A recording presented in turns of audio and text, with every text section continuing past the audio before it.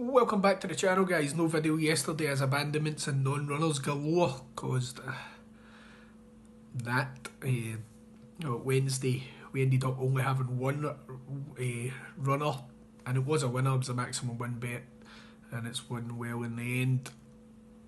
Getting the job done for us. So we're in forum, get into Friday and we have got free bets. So he's on the tartan bet. He can play them. They're each way prices. You can play singles and a little each way tricks or something. Four pound gets you involved in those today. One's going a little bit shorter, so get on ASAP, guys. Uh, get the best prices you can. I'm going to give these two bets from the Breeders' Cup, day one for this evening.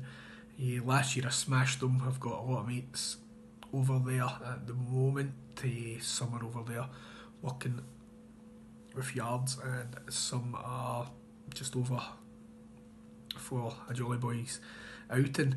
But they they're expecting to win a few quid like we did last year. We absolutely smashed the bookies, landing some lovely bets, and let's hope we can do the same today. I've got one max bet and one strong win bet for yous.